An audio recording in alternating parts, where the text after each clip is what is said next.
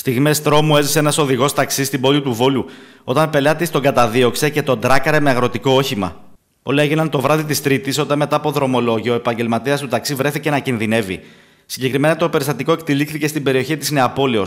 Ένας πελάτης γύρω στα 40 έτη ζήτησε να μεταβεί με κούρσα από την κεντρική πιάτσα του Βόλου. Όταν τον έφτασε στον προορισμό, ο επαγγελματίας του ταξί ζήτησε τα χρήματα για το δρομολόγιο. Εκεί όμως η κατάσταση ξέφυγε. Ο 40χρονο όχι μόνο αρνήθηκε να του δώσει τα λεφτά, αλλά ζήτησε από τον οδηγό του ταξί να του δώσει εκείνος 15 ευρώ ως δίθεν ρέστα από τα λεφτά που του έδωσε. Μάλιστα, ο πελάτης έφυγε από το όχημα, ο οδηγός του ταξί τον ακολούθησε και του ζητούσε τα λεφτά του.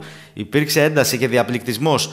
Και ο 40χρονο που πήρε την κούρσα άρπαξε ένα σίδρο και προσπάθησε να πετύχει τον οδηγό. Ένα συνάδελφο από τη Δημητριάδος ε, πήγε πάλι στο γνωστό το μέρος.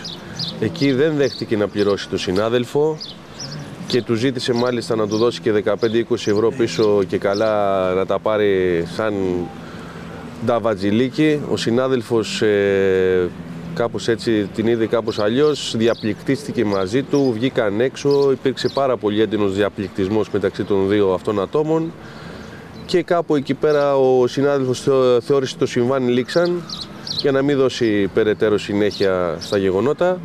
Ε, πήρε το ταξί του και έφυγε να συνεχίσει για το μεροκάματο ο άνθρωπος. Ο οδηγός πήρε το ταξί και έκανε αναστροφή και επέστρεψε στη βάση του. Λίγο μετά όμως είδε ξανά το ίδιο πρόσωπο να καταφθάνει με αγροτικό όχημα.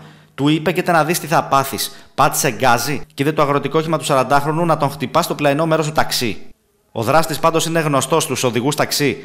Βρέθηκε στην πιάτσα το κτέλ ο συνάδελφος, παρκάρισε το όχημά του στην πιάτσα που έχουμε στα κτέλ και ξαφνικά είδε μετά από μια ώρα που ήταν εκεί είδε ένα φορτηγάκι άσπρο σπρίντερ να κουμπώνει μια όπιστην και να λέει τώρα θα δεις τι θα γίνει και πήγε και τράκαρε το όχημα του συναδέλφου. Ήταν ο ίδιος ο άνθρωπος ο οποίος τον είχε μεταφέρει πριν από λίγη ώρα Είχε σταμπάρει το αυτοκίνητο. Βέβαια, εκείνη την ώρα οι συνάδελφοι που ήταν στο πρακτορείο τρέξαν να τον πιάσουν, αλλά αυτός εξαφανίστηκε με ηλικιώδη ταχύτητα στη Λαρίσης και χάθηκε στα στενά. Ε, έχουμε ενημερώσει την αστυνομική διεύθυνση για τον άνθρωπο αυτόν. Έχει ταυτοποιηθεί.